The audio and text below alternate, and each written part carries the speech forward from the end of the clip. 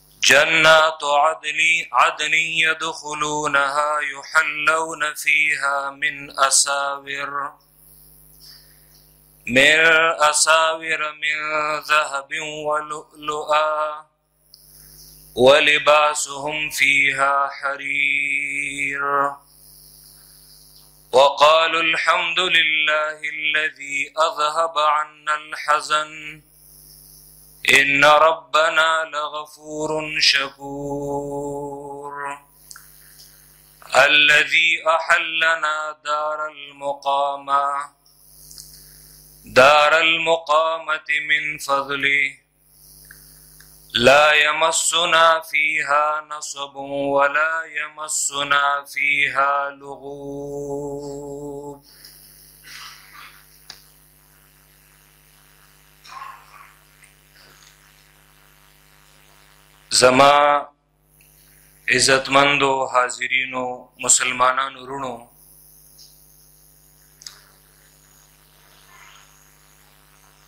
دا الله رب العزت دربار کې دعا کوم چې الله زما د خلینا د قران او د سنت مطابق کلمات وباسي او ما او تاسو لدی الله پاغي د عمل توفیق راکړي زمنګ او تاسو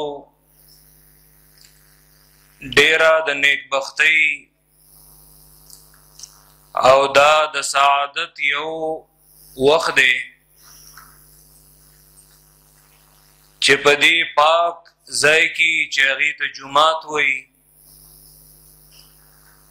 منګ او تاسو په هغه وخت کې راجم شویو چې دا هغه وخت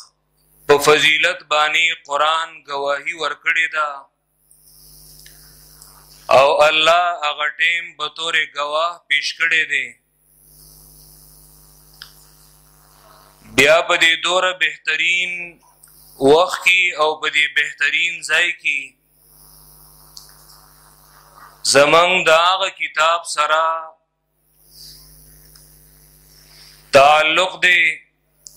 داغه کتاب د نسبت د وجنا منګه راجم شویو چې په هغه کتاب باندې الله دی امت لا غوروالی ورکړې دی او په هغه کتاب باندې شپه بهتره شوی ده میاش پی د فضیلت والا ګرځیدلې ده دا امت باغی باندې غوړه شوه دی غرض دا د قران مجید سره چې د کم سیز تعلق او نسبت راغلی نو هغه سیس کې الله برکت چولې هغه سیس کې الله خیر چولې یقینا زمنګ د پاره په دې مجلس کې شرکت دا ډېر لوی د سعادت خبره ده بیا په دې مقام کې منګ دا هغه هستی او دا هغه شخصیت داغه د درس د اختتام په سلسله کې راجم شوی یو دنیا کې بعض خلک داسي یو انسان کار سره کوشش وکي بعض خلک د هیرولو خلک نه دنیا تیر شي زمانہ تیر شي پیړۍ تیر شي خو څومره چې وخت تیریږي دا غ خلکو هغه ذکر دا غ خلکو تذکری هغه لالا ژوند کیږي او دنیا هغه په خو په خو الفاظ باندې یادې او په دنیا کې داغي هغه نوم هغه ژوندې وي او دا فضیلت دا اصل کې د دې عظیم شان کتاب د وجنا یو انسان ته ملاويږي سوره قلم د قران مجید هغه سورته چې په دویم نمبر کې نازل شوه د اسمان نه دنیا ته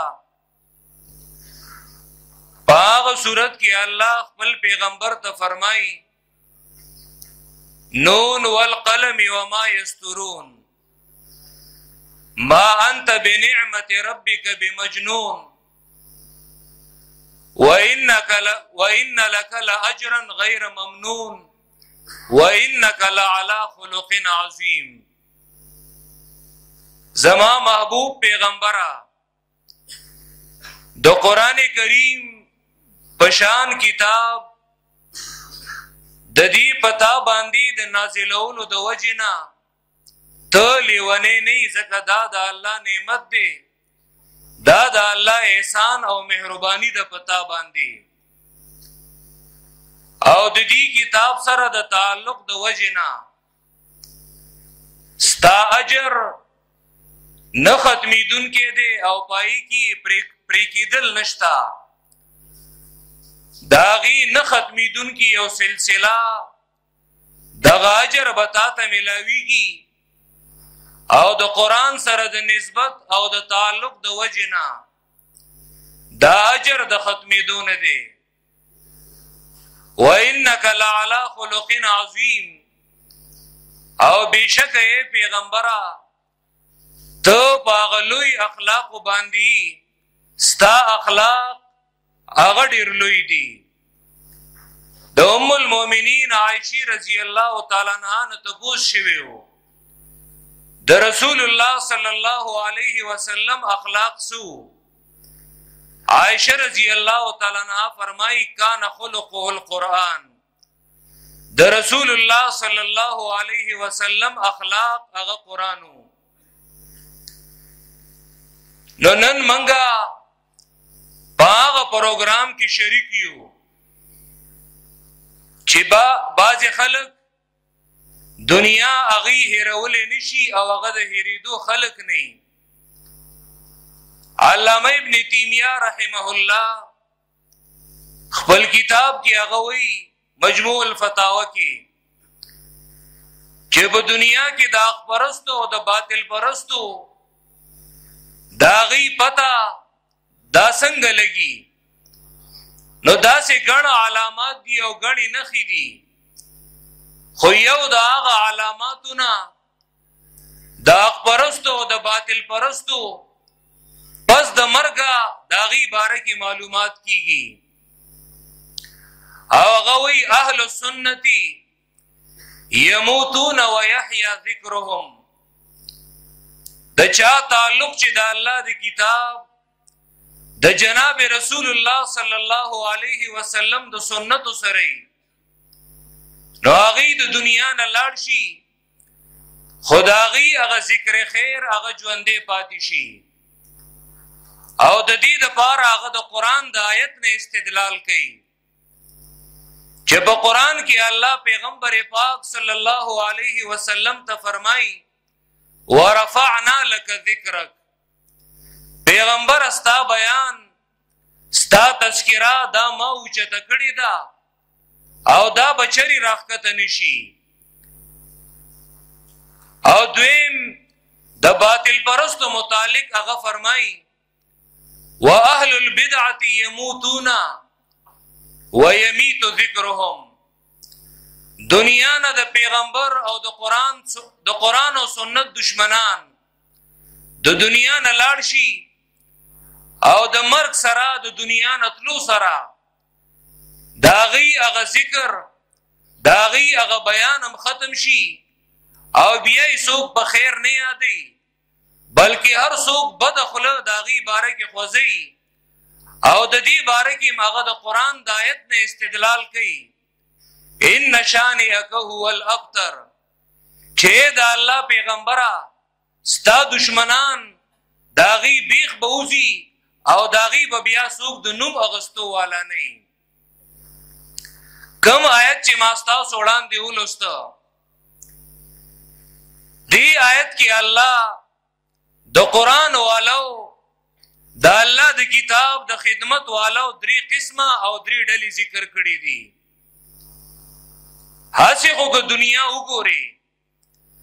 نو په سوره فاتحه کې الله د ټولو انسانانو تقسیم کړي دي درې ډلو ته چې په هر زمانه کې په دنیا کې سوره انسانان ژوند تیری نو دا انسانان درې قسم دي یو هغه دي چې هغه خالصتا د الله تابعدار دي او قران هغه کې انبیا صدیقین شهدا او صالحین دغه ډلو دغه ډلو نه قران تعبیر کړي دي په منعومن علیهم سرا یعنی هغه خلق چې د الله تابعدار دي او الله په انعام او احسان کړي دي دویم هغه خلق دي چې هغه د الله د غضب د لاندې راغلي دي د الله نافرمان دي او د الله تابعداري نه کوي د الله اطاعت نه کوي داغه د پیغمبرانو اطاعت او تابعداري نه کوي او درې ما غډل ده چې هغه د خپل مفاداتو ته ګوري چې په کوم ډله کې دا غي فائدې نو په هغه لار باندې رواني دا غي یو کلک نظریه نشتا خو د خپل فائدې د پاره کله یو سره او کله د بل سره یعنی یو هغه چې خالصتا د الله تابعدار دویم هغه چې خالص منکر دی او د الله نافرمانه دی او دریم هغه دی چې هغه خپل مفاد ته ګوري چې زما فائدہ پچا کې ده نو د خپل فائدې د پاره کله یو سره کله بل سره او قران داسې سړی ته منافق ویلې دي بیا په دې تابعدارو د الله کې دی کی بعضی هغه خلک چې هغه د الله د کتاب سره تعلق وي داغي د الله اطاعت کوي نو قران مجید د دې درې قسم ذکر کړی دي سوره فاطر آیت نمبر 32 کی کم چې ما تلاوت کو دی آیت کې الله فرمایي چې ما قران مجید د دې وارثان وګرځول هغه خلق چې ما په خپل بندګانو کې چون کړی دي چاله چې الله د ایمان توفیق ورک چاله چې الله د اسلام توفیق ورکړي دي او خپل بندې ګرځولې دي یاد ساتي دا کتاب دا الله ما او تاسو له میراث کې راکړي دي دی امت لا چې څوک ځان ته د پیغمبر امتی وي او څوک ځان ته د قران منون کې وي یاد ساتي دی خلکو لا الله میراث کې خپل کتاب ورکړي دي خو په دې خلکو کې خلک درې ډلې دي فمنهم ظالم لنفسه بعضی د دین هغه دي چې هغه کمیو کې د خپل ځان د پاره ځان د پاره کمی وکي یعنی قران صرف په خپل باندې ومنه او یره دا د الله کتاب دی نی په قران باندې ځان پوک نی د الله کتاب ته د زدکړې په نیت کې ناشته قران دی انسان ته ظالم ویلې دی چې و ځان لدی کمی وک ځان لدی ظلم وک او ځان لدی د اخرت هغه برخه هغه کم کړه ومنهم مقتصد بعضی د دینه درمیانه دي یعنی هغه دي چې رال د الله کتاب تکي ناستل خپل عقیده هغه سم کو او ډیر نډیر لاړ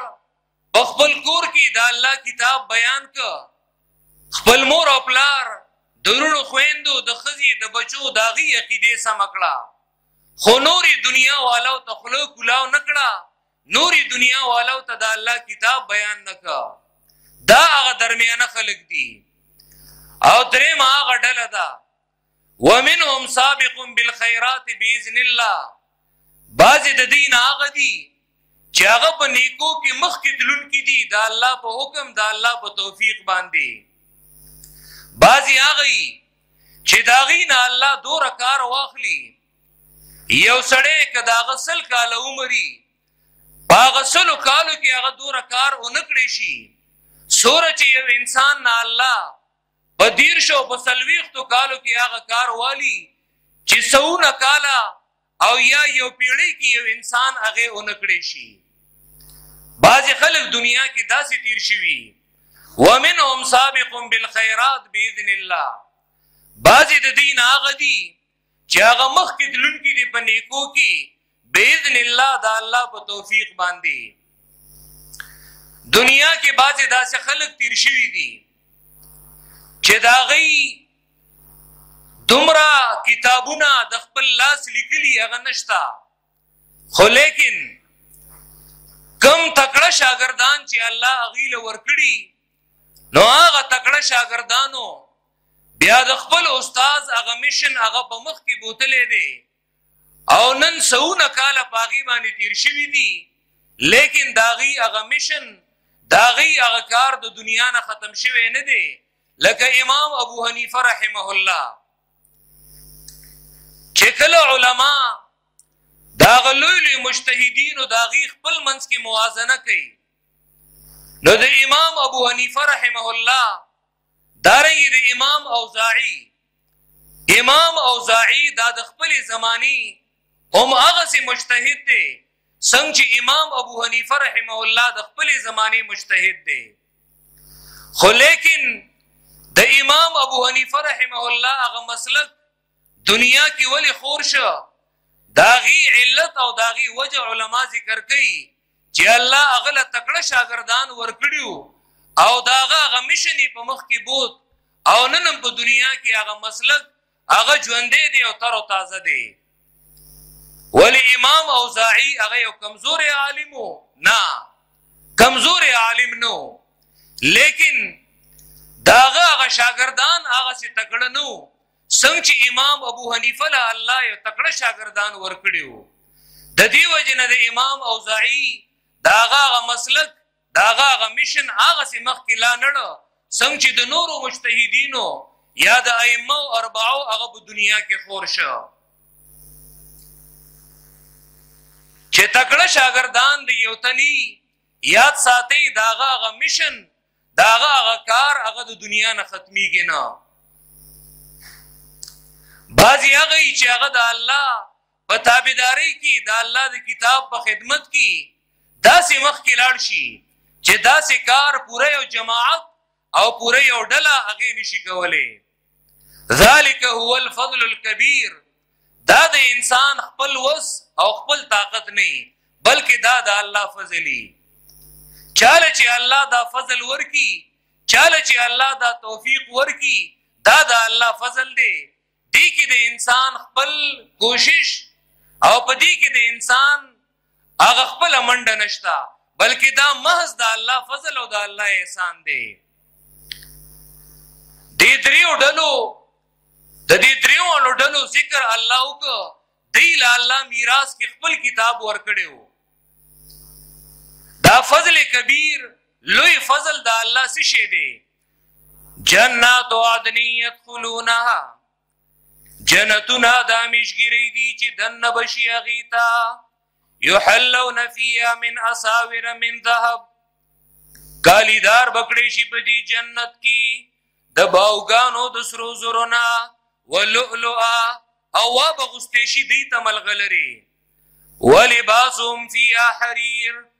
او جامع به د دوی په دې کې درې خمو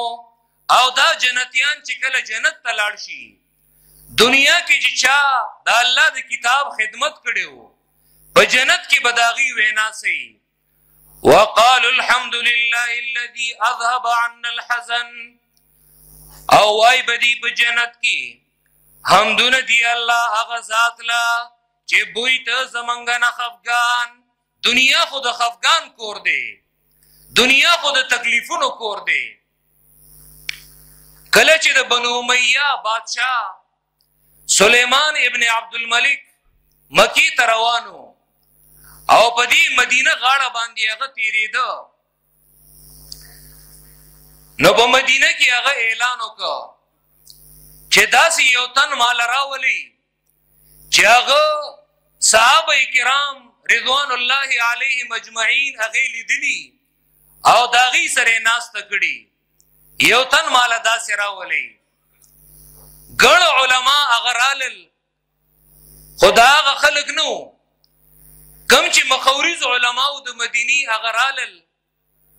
بادشاہ سره غي ملاقات وکړه او بادشاہ ویلي هغه څوک راولي چې صحابه کرام لیدلی او داغي سره ملاقات شوی یو داغینا ابو حازم ابو حازم دا مې دې ته ویل دې ته مې ویلې ما خبره امیر صاحب حکم ونو ډیر رانه نو ابو حازم هغه راوست بادشاہ ابو حازم ته وی چې ابو حازم مال دور علما رالل ستا د دې جفا مطلب څه دی نو ابو حازم ویلی بادشاہ تا او دا هغه علماو چې دوی به د بادشاهانو په دربار کې یریدل نه ځکه دوی د بادشاهانو نه ستم نه وه څه لالچي نه نو ابو حازم هغه ته ویلې بادشاه زه به تاله ولې راتلما زما استاد دین مخ کې ملاقات نه دی شوی ته زما رشتہ دار نه ته زما دوست نه چې زه تاله په هغه بنیاد باندې راغلی وې بهرحال بیا داغه د بادشاه سره وګد ملاقات شوه دی او وګدي خبري شوه دی دا ابو حازم ناغه ته پوسو کا ما لنا نکره الموت دا زمنګ سو جدا چې من مرګ بد غنو او من د مرګ یریګو نو ابو حازم رحمه الله هغه ته ویلی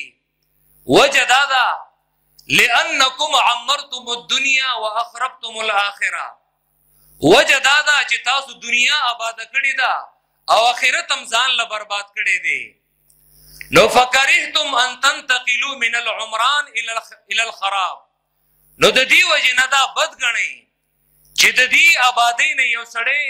هغه ویران او شړ ځای ته یو بنده لاړ شي بادشاہ بیا داغه نه نور ته بوزونه کړی دي یو ته بوزي ته دا کړی دی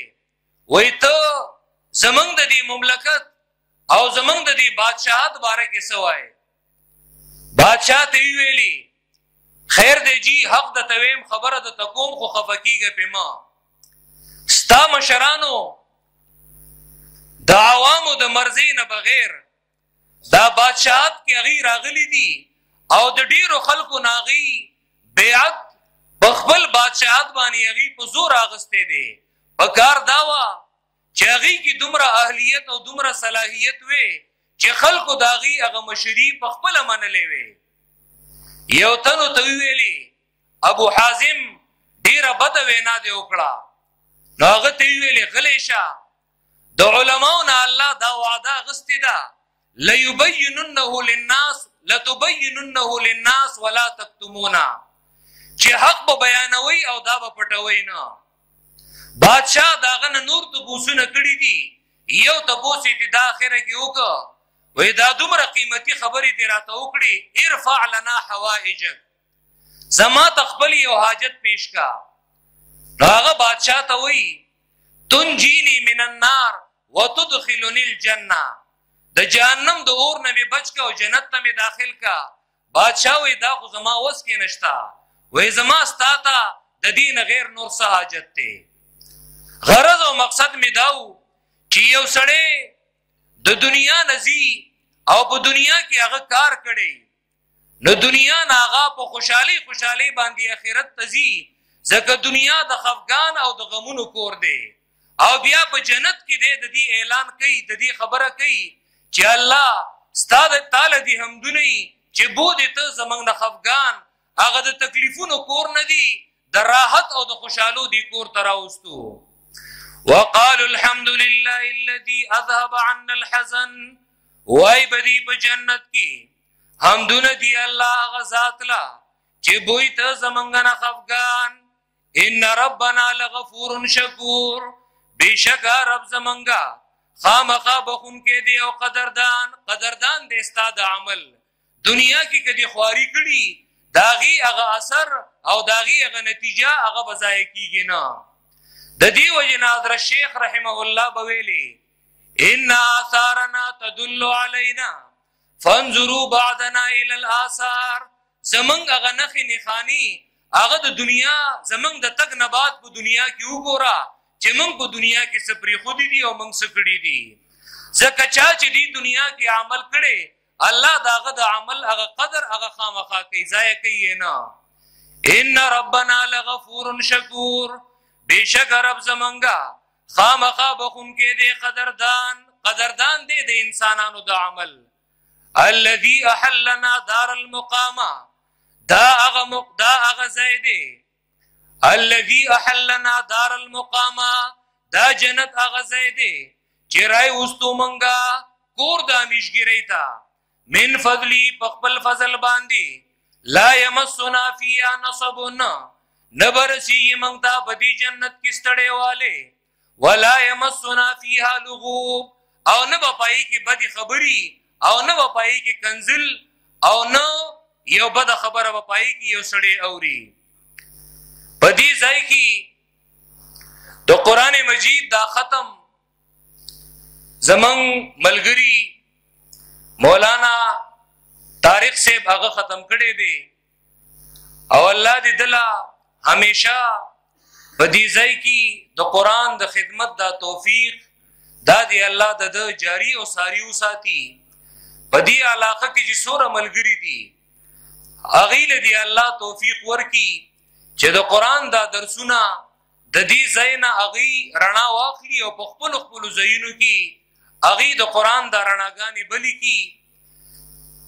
زمونږ استاد محترم اغم راغله دې تشریف راوړې دې د منځ نه بعد به ان شاء الله دا غي تفصيلي بیاني د قران مجید د اخرنی سوراتونو اختتامی بیان بکئی ملګری جخ جخ کینه کبار کم ملګری ولاړی چې هغه تم په جمعات کې د ناشتي ځای ملاو شي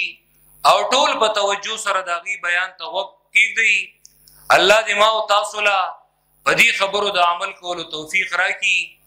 صفونه جوړ کړي اذان بکیږي او دا غي نه بعد مزل صفونه برابر کړي